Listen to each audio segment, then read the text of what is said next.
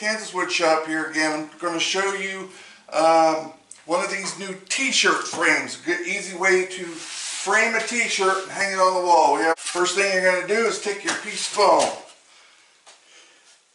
You're going to lay the t-shirt on top of that.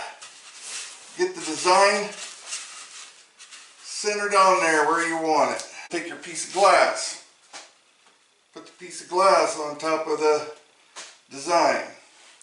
You're to take your frame upside down, make sure your little things are out of the way. And set it down over the top of there.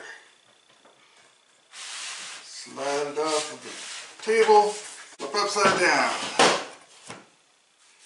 Fold the rest of the shirt in, the cavity that's on the back. Take your back piece,